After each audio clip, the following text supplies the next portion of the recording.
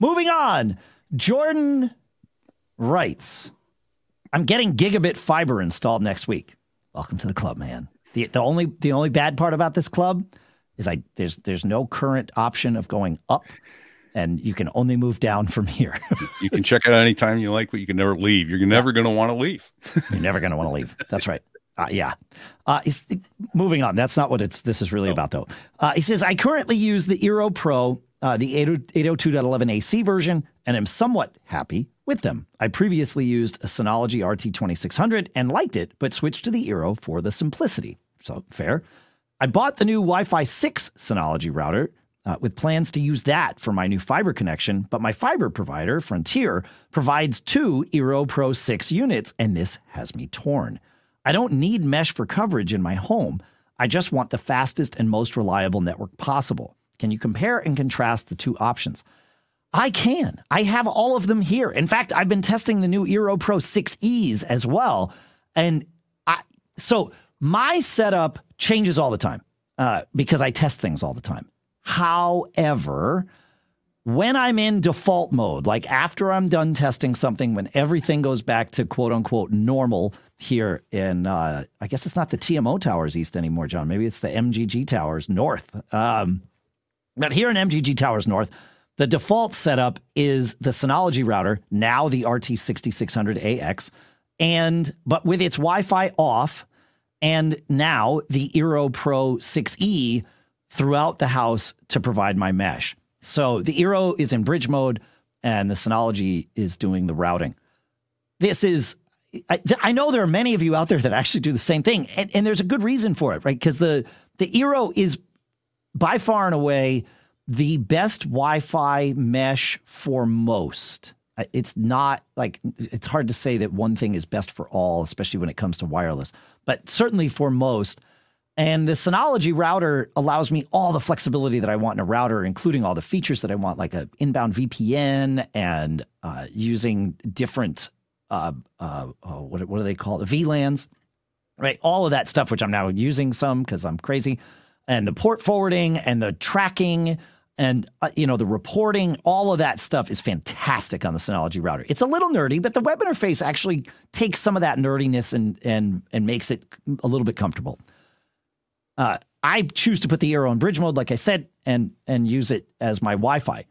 But for most people, I recommend, especially people who need mesh. Now, Jordan, you're in a weird position because you you say you don't need mesh. I, I'm I'm going to explain why you might, but uh, for most people, most folks need mesh, and so my easy recommendation is Eero. Uh, certainly, the Eero Pro, the 802.11 AC version, works great. The Wi-Fi 6 version, the Eero Pro 6E uh, is spectacular. Uh, and I like it a lot because it will use that six gigahertz channel for backhaul as well as front haul.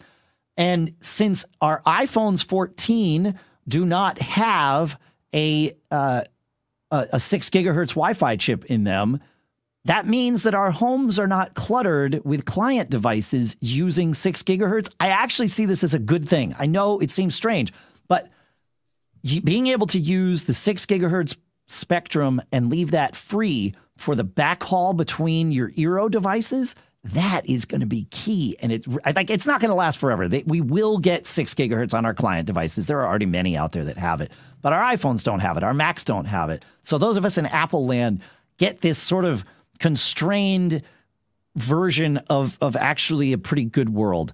Uh, if you go with like a, the Eero Pro 6e, and the user interface for the Eero routers is, uh, and the whole Eero mesh is simple. It lets you do many things, uh, including, you know, the port forwarding and all of that stuff that you would want to do or need to do. Uh, it doesn't do VPN or anything like that, but it it certainly uh, is a it is a it's a very capable interface, and and there's a reason that the Eero sits, you know, up there at the top of my my mesh list there are there are the mesh world is evolving all the time so stay tuned for uh, any more information that may or may not be coming from various mesh vendors but at the moment the Eero Pro 6e is absolutely my favorite of these uh, and for good reason so which should you get jordan because you're in a home where you say that you need you don't need mesh, and you already have the Synology. I think he said he could return it, and uh, you get the Eero 6E for free. It's a, let me say this about homes that don't need mesh. One nice thing about a mesh system is you get Wi Fi bandwidth to each mesh point separately. So if you've got a lot of people streaming, even if you don't need mesh for coverage, you might like to have mesh for simultaneous streaming bandwidth. And a lot of folks have found that to be a great benefit of mesh, even if you can reach the, the router from all points in your home.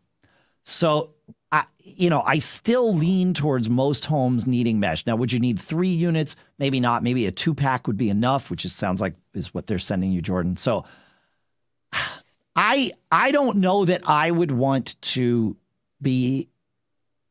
I don't know that I would want to have my own Wi-Fi setup that wasn't mesh in today's world, regardless of the size of the home, unless it was just me there. Then, if the size of the home meant that coverage was okay, then I'd probably be all right. But otherwise, with multiple people in the house, I, I, there's a benefit to having mesh. So I, I think I would lean towards the the Eero, although obviously I love the Synology router. It is the thing that routes my home. So you I've seen Pete and John leaning, leaning, in. Sorry, Pete. Go ahead. Yeah. No, I said you answered my question before I could ask it. I'm going, uh, you know, do I get the two? Do I get the three? You know, that sort of thing. Um, and then, but then the other thing is, especially if you've been a cable cutter and you're now using DirecTV Stream, YouTube TV, any of those, you're going to want that extra bandwidth. Right. Right. You know, you're trying to stream TV and someone's trying to use a computer. Someone's gaming. You know, I got a teenager gaming. Yeah. Yeah. Right. Yeah. And that can make a big difference to have that, you know, sort of, uh, you know, yeah. not on an overloaded Wi Fi circuit. Yeah. Thanks a lot, Jordan. You just cost me 600 bucks.